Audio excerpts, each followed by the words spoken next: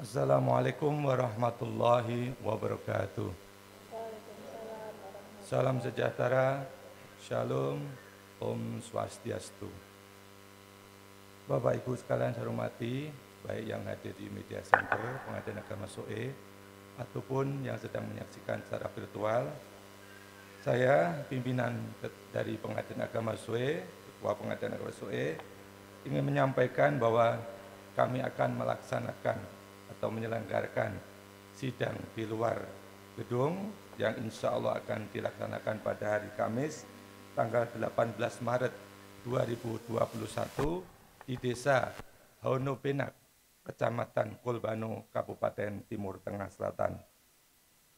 Kami berkomitmen terhadap masyarakat yang kurang mampu, sebagaimana implementasi dari Justice for the Poor, bahwa kami akan melayani masyarakat yang tidak mampu di wilayah Kabupaten Timur Tengah Selatan dalam hal ini yang belum memiliki identitas hukum yaitu berupa buku nikah yang mana pasangan yang telah menikah secara agama Islam namun belum tercatat di kantor urusan agama setempat.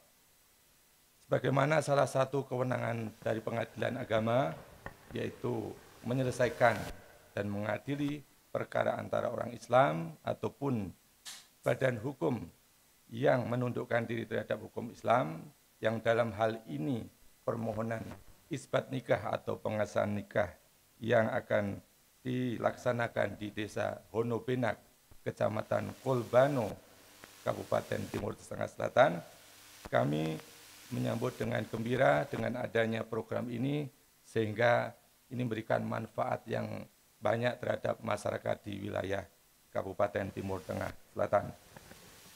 Kami berharap dengan adanya pelayanan sidang di luar gedung ini, kami dapat memberikan pelayanan nyata terhadap masyarakat yang tidak mampu, kemudian juga masyarakat yang belum memiliki identitas hukum dalam hal ini buku nikah, serta ke depannya tidak ada kesulitan bagi masyarakat itu untuk mengurus administrasi yang lainnya.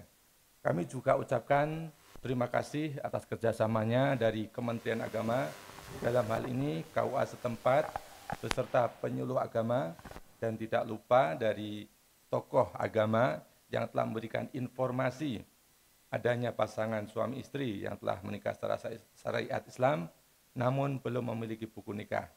Di mana informasi itu telah kami lanjuti, tidak lanjuti dengan adanya survei ke lapangan dan pada Saatnya nanti, insya Allah besok hari Kamis ini kita akan melakukan sidang di luar gedung yang tepatnya di uh, Desa Honobena Kolbano, Kabupaten Timur Tengah Selatan. Kami beserta, beserta tim sidang di luar gedung uh, berharap kegiatan itu memberikan uh, pelayanan yang terbaik kepada masyarakat, kemudian juga sebagai uh, wujud bahwa kami hadir di Kabupaten Timur Tengah Selatan ini. Mungkin demikian dari kami.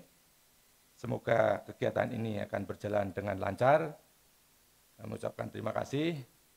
Bila taufik wal Assalamualaikum warahmatullahi wabarakatuh. Salam sejahtera. Om Santi Santi Om. Izin bertanya Bapak ya. Kira-kira waktu tempuh perjalanan ke lokasi sidang di luar gedung ini berapa lama dan agama SOE ini? Uh, setelah kami adakan survei oleh tim survei kami, kemarin jarak tempuhnya sekitar 4 jam dari kota SOE. Persisnya dari kantor pengajian agama SOE. Dan itu perjalanan yang tidak cukup mulus karena daerahnya pegunungan. Mungkin ini di puncak gunung di Honobenak itu. Tapi insya Allah dan Alhamdulillah kemarin juga sudah uh, bisa kendaraan sampai di sana dan bisa selanjutnya nanti jangkring ini juga bisa lancar dalam perjalanan ke lokasi tersebut. Terus satu lagi pertanyaan Bapak, apa yang menjadi dasar atau landasan pelaksanaan sidang di luar gedung ini yang kami rasa jaraknya sangat jauh gitu.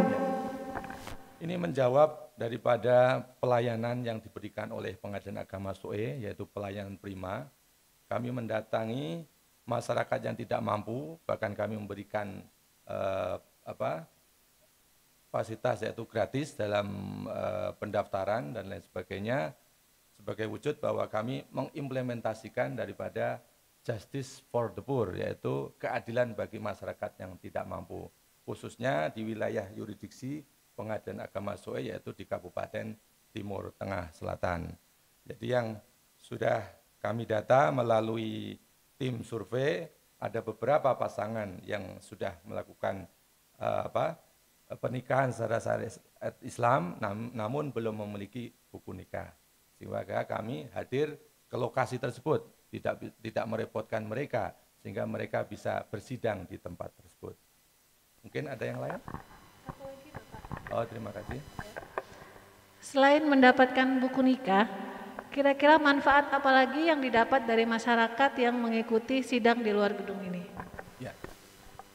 Saya rasa masyarakat ini sangat terbantu ya dengan adanya pembebasan biaya dalam berperkara, kemudian kita hadir di tengah-tengah masyarakat. Dalam hari ini kita hadir di lokasi, mereka tidak susah-susah payah ke kota, ke kantor pengadilan, sehingga biaya-biaya yang lain-lain seperti transportasi, akomodasi dan sebagainya, mereka sangat terbantu.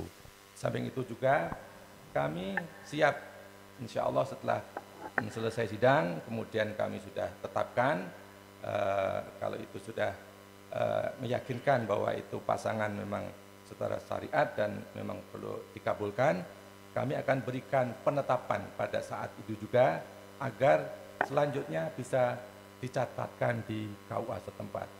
Sehingga masyarakat betul-betul merasakan bahwa eh, pelayanan yang dilakukan oleh pengadilan agama SO ini betul-betul tuntas, tidak hanya menggantung tapi tuntas sampai eh, masyarakat itu mendapatkan legalitas atas perkawinannya. Cukup Pak, terima kasih. Terima kasih kami sampaikan, kami mohon doanya, semoga perjalanan kami insya Allah besok hari Kamis ini beserta tim yang ada ini diberi kemudahan, kelancaran, dan kesuksesan dalam melaksanakan uh, tugas tersebut. Sekali lagi, saya ucapkan terima kasih atas kehadirannya, dan ini press release dari kami. Terima kasih. Assalamualaikum warahmatullahi wabarakatuh.